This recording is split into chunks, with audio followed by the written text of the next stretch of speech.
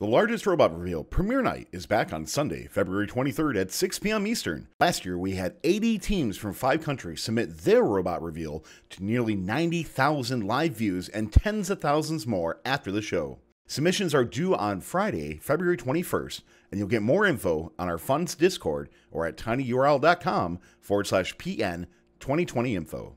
We also want to give a big shout out to our friends at Stryker for sponsoring this video. I just visited their global headquarters in Kalamazoo, Michigan, and wow, this leading medical manufacturer has state of the art workplaces, provides top pay, and even has a housing stipend for their interns. Learn more about how Stryker supports their employees who are in first by going to careers.stryker.com forward slash first. And we are off. We've got shots fired from the UMich team. They score three power cells in the top level of that port. The IRAA team landed three in that lower level.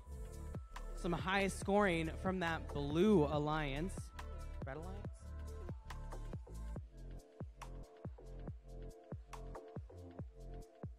The Ohio State team, they're lined up with the bottom level of the port. They score two power cells. UMich shoots, but the balls bounce back out onto the field. That's not going to earn them any points.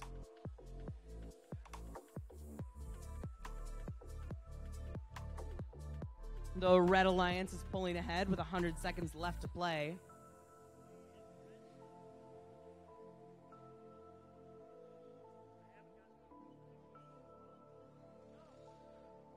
OSU going with a few more power cells in that bottom port.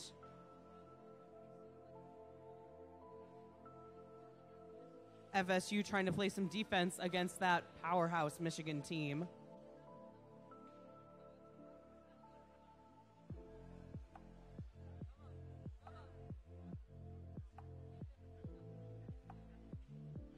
GVSU has three of those power cells in their possession. They are super close to that bottom port. Let's see if they can shoot and score. Just under a minute left to play. Red Alliance leads by about 35 points.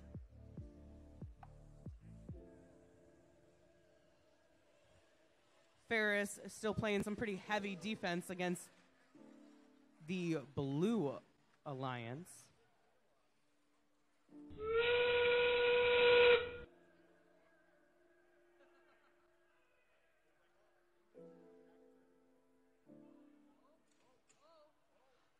The IRAA and the Ferris team both lining up trying to climb if they can get their hooks latched on.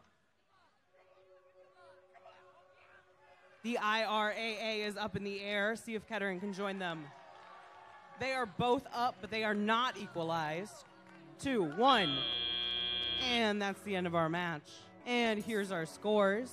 Winning by a score of 106 to 22. That's the Red Alliance.